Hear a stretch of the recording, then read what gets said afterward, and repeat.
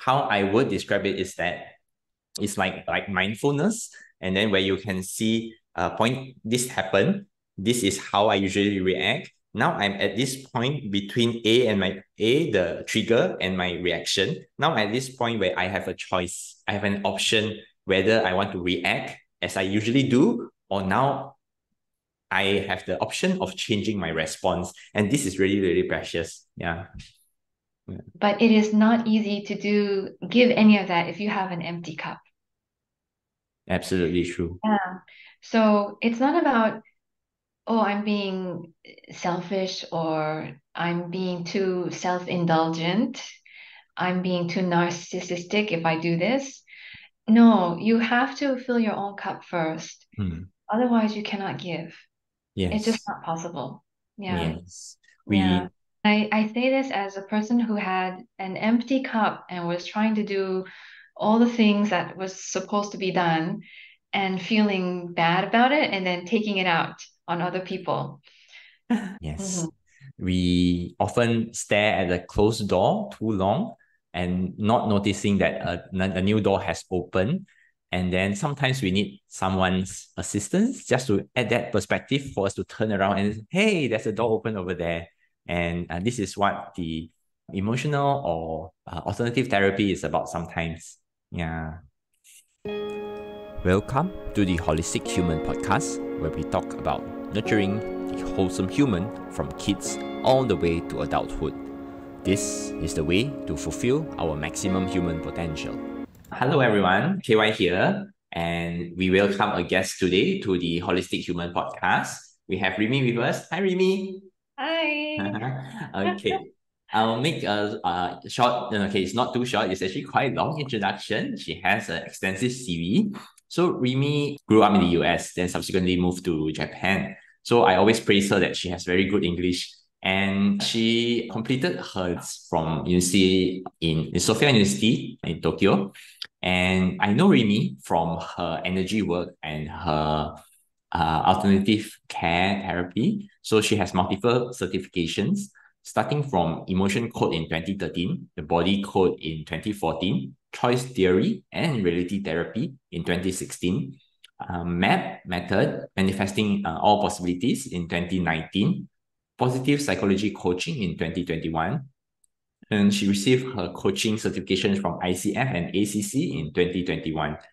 Uh, she is not done with that. She is currently uh, pursuing further education into interpersonal neurobiology this year, and she is completing her emotions coaching course tentatively next year. She previously worked in Morgan Stanley and Donna Karan in Japan, and while in Singapore, she was board member of the Waldorf Steiner School previously. One of the school my kids are in actually. So cool. And yeah, she has two big kids, each 20 and 17, one cat and many plants. Yeah, thank you for covering me uh, to the podcast today. Yeah, thank Uh, you. Yeah, yeah, that was So, a lot happy of to have you on with us. Um, yeah, Rimi, I think my audience would be wondering, like you you started off very normally, and then what brought you over to the other side? The other side, yes. Yeah. Okay. So I thought about how to explain this, and I thought a story might be helpful to illustrate. So, you know, you have a wife and two, multiple kids, right? Not just one, two kids, right? More than that, I cannot handle. Yeah. Yeah, yeah, yeah. Okay, you know. So, like, imagine from your viewpoint, right? Your wife is really stressed and she's really depressed all the time. She's angry, frustrated, and exhausted, right? And you understand her, all of her feelings because, you know, she's got a baby to take care of, there's a household to take care of, and you are full-time committed to your work. So you really can't help. At the same time, you're wondering, "Uh, how can it be so hard, you know? Right? It's one baby only. It's uh one house, not so big. My mother raised three kids. You know, your mother, like as in his wife, right? She raised um three kids as well. And why can't you? You have only one, right? So, you know, so this is also going through like your mind, okay? But then you have another child, so now you have two, and it just gets worse. You know, she does, she's just more miserable. and she's always angry with you, right? Nothing you do seems to work. What would you do? This is what my husband was facing a long time ago. And Yeah, I faced that too. Yes, I understand. yeah, okay. So I did not know, but what he did was he engineered a job overseas. And I had no idea about his engineering. All I heard was that in November he said, I got a posting in Singapore. We have to move in two months. And so all suddenly my whole life got turned around. We have to pack up the house, you know, relocate everything in just two months. But that's how we did it. We, that's how we ended up in Singapore. Mm, mhm. Yeah. This was when? This was 17 years ago. Wow. Yeah. Okay. So at first it was great, you know, change of scenery, right? It's very exciting. I got a full-time helper, you know, wow. But then, you know, I noticed that especially after the kids started going to school, I think I was e getting even worse. You know, Mm, okay, you need to understand, right? Coming now from the wife, so it's me now, right? I was in a place of low self-esteem and high social anxiety mm, and you know having to interact with all the teachers and socializing with other parents so that we can arrange play dates you know and i'm still trying to carve out my new life uh, all of this is extremely stressful and sometimes i would really blow up over small things and then you know take it out on my kids or my husband and i noticed i was becoming toxic mm, and somehow there was this one point where I was supposed to research for uh, a trip to New Zealand, mm, right? And somehow I fell down this rabbit hole and I discovered Dr. Bradley Nelson's video. Yeah, mm. don't ask me how I got there. I'm supposed to research for a holiday. And I end up watching videos on healing. I have no idea how I managed to get there, but it was very intriguing. Mm, Uh, so what I saw him do was help a client heal her knee pain, you know, over Skype, because that's what we used back then, mm, right? With just a few swipes of this magnet that he had, right? So he's in the US, mm, she is in Germany, and he's mm, doing this it's just simple technique where he's clearing like maybe five, six emotions from her over a distance. mm, And so we only hear their voices. mm, But he asks her, okay, can you stand up and walk around? And she's, you know, so she says, okay. And then she walks around, and the amazement and the surprise in her voice, I think it was, you know, it was real. I do not think it was fake. She was just mm. amazed and astounded. I see. So then I was so hooked. I was like, what is this mod- modality? Why haven't I Mm, not heard of it before? mm, So somehow this was all ordained by the universe because mm, I discovered a practitioner within walking distance in New Zealand from the place that I'm staying at, right? Mm. So I'm like, okay, this is a sign. Yes. I must go and see this woman. And I did. And I asked her to check my neck because I had some very bad neck pain. I couldn't even turn it to one side, Mm, right? And so she's like, okay, let's let's check it out. And so she also cleared some emotions from me. And then she also cleared something called a heart wall. And then I think maybe after 30 minutes, she said, okay, check your neck, please. So I did. And I'm turning my neck this way and that, and there's no pain. Wow, amazing. Yes, before that, my pain was about eight or nine out of 10. It was quite Mm, bad. But then I she does this on my back, and then my neck pain is gone. And not only that, I'm feeling this lightness that I've never felt in, mm. you know, the many years that I could even remember. Wow. Wow. That It must was, be very liberating. it was, it was, I just felt like I floated home. I don't even know how, but I, yeah. And that experience was very eye-opening Du during the trip, during the trip in New Zealand, did your husband notice? I don't know if he noticed. He might have, but he Mm. didn't really share much. Okay, okay. I think with men, maybe, you know, it's not so easy to spot, Yes, yes. I I felt Even if you change your hairstyle, sometimes men don't know, right? Yeah, you know, so okay, that's fine. But at I also wasn't so bothered by that too. You know, if he doesn't notice, okay, you know, what's important is how I feel. Mm. But I realized that that taught me something really important. You know, until then, I thought all my problems that I'm having is due to my personality, you know, or maybe I'm a certain type of human being, like I'm a depressed type of person, you know.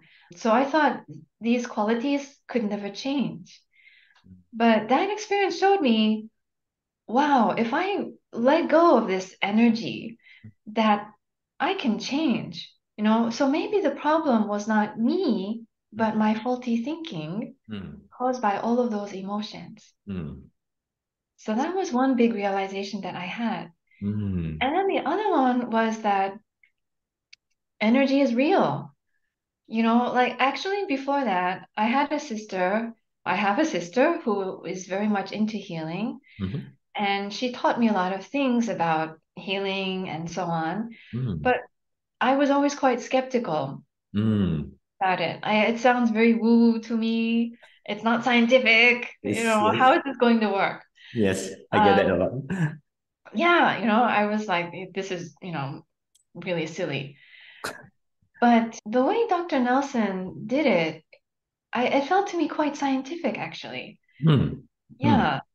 And the more I learned that energy, what it's really made of, I was more, I don't know how to describe it. I, I just felt like my eyes were open to a different kind of physical reality. Mm. Mm. Yes, yes. Yeah. I get what you mean. Yes. Right. And then Mhm. the things that healers and spiritual people talk, the way they talk about energy, I realize that, okay, it makes sense. I, I might not use the same words as they do, but they are talking about energy in a in a science way, just that Mm. they're describing it differently. It's a more feeling-based way. Mm. Mm. Yeah, but you can still describe the same things uh, using science too, and it's still Mm. the same. Mm. I I just interject here because yeah, doc, Dr. Bradley Nelson, he's a chiropractic, right? Yes. Yeah. So Yeah. recently, I, I did some uh, deep dives into intention and intuition. So the research of intention uh, has been ongoing. So there's this guy called, he's a PhD, William Tiller. So in 1977 to 1979, he started off intention research using gas discharge generators. So a gas will be placed between two anode and cathode plates. And if there's energy being applied, the gas would start releasing electrons and then it will start to form a cascade. And then eventually the gas will release a color. That's why it's called gas discharge generators. So what he does is that when the when the setup is baseline, there's very, very small flicker. But if he puts intention into the machine, then the gas discharge increases. So he so he's thinking, hmm, whether this is electromagnetic in nature. So how what's the next step? The next step is to install a Faraday cage. So how a Faraday cage, listeners to understand, is like like a microwave. If you see the, the door, it has this web-like thing. So you can look into the microwave and then the microwave does not come out to harm you, but it cooks the food inside. So a Faraday cage isolates the electromagnetic waves. So he plays the Faraday cage and then he does it again. And then the, the same thing happens. So that Mhm. starts him thinking into is this intention a non-local phenomenon? Then he started doing further and further research. And then the research spanned decades. And in, in another session, in another time, I can probably share deeper. But yes, this intention is non-local. That's why Dr. Bradley Nelson can treat like distant clients even across countries. Yep. I'm back to you. Sorry, Rimi. I cut you off. No, that thanks for that explanation. Yeah, so it, it's it's based in science. Mhm. Yeah. Yes. And that's what also really blew me away. Mhm. And so that just, I don't know, it just led me up from one thing to another. My curiosity was piqued and I took the plunge and I went into this journey path Mm. and th- then I somehow ended up where I am today. Wow, nice, nice, nice. Yeah, I, I do realize that that in, in, in medicine, we treat when there's uh, you know there's illness, there's a disease, you prescribe something. But there's a lot, a lot of things that falls under the spectrum where you know you're not really, really ill, but you're not thriving, you're not flourishing. You may be uh, managing or you may be languishing, and then you don't know what to do about it. And this is where we need to tap into other modalities of healing. And yeah, I'm very thankful uh, for people like you who are around. Yeah, how I got to know Rimi, Rimi is actually, I call her my emotional coach. Yeah, although although uh, she has many other modalities, but chiefly she helped me uh, resolve my uh, emotional blocks. And I really thank her for that. Yeah, thank you. yeah. Um, yeah, um, and if you um uh, you, you have a lot of things inside your toolbox now, yeah, maybe you can talk a little bit more about emotion code and body code. Okay, so the emotion code and body code, if I were to describe them very, very, very simply, it's like Mhm. this. The emotion code is like emotional detox, Mm. right? And the body code is an energy detox. Mm. Yeah. And so we we basically try to detect, you know, what emotional energy or other kind of energy is stuck in you, which could be causing you to feel unwell physically or emotionally mm. and clear it. It's really as simple as that. Mm. Yeah. Mm. I just uh, hoping to add that in, in Chinese medicine, whether it's acupuncture or TCM, there is a saying called 通则不痛,不通则痛. What it means is that if there's blockage in energy, pain will come up. If there is no blockage, there is no pain. So it could be physical pain, and then after the acupuncture session, the pain goes away. It could be emotional pain, and then we tap on people like Rimi who can help you release your emotional blocks, and then the emotional pain leaves, or you get awareness and insight of what happened. Sometimes it comes up as part of the session, and then you realize that this burden you've been carrying for like so long suddenly gets lifted. Yeah, yeah, it's like it's like your neck pain experience, right? Yeah. Yeah. okay, I met Rimi a long time ago. I think it was 2017. And in subsequent years, I saw her that time she added MAP into her toolbox already. Maybe you'd like to share a bit on MAP. Okay, yeah. So the reason why I added map on is Mm. because as much as I really liked emotion code and body code, Mm. I even felt that those were a bit slow. I wanted something faster, more effective. You know, what's the next best thing out there? Mm. And then map came sort of into my inbox in a way. Yeah. Mm. So if I were to describe, okay, like before, in a simple way, what does map do? One of my fellow practitioners had a great, great way to s- describe it. She said Mm. it's like a brain massage, Mm. Yeah, right? look forward for one. it was a really good way to describe because in MAP, we understand that people will experience things in their life, events, traumas, you know, and that leads from one thing to another. And so we we get knots and kinks Hmm. in our in our thinking, you know, not in the real brain, but right in our mind. Yes. Yes. And how do you undo them? holding space for our thoughts and our emotions allows us to change the outcome because when we always react the same way to certain things, we always have the same outcome. And when you get to tweak your response to something, that's how you start to influence small decisions to big ones to all your interpersonal relationships and eventually your life.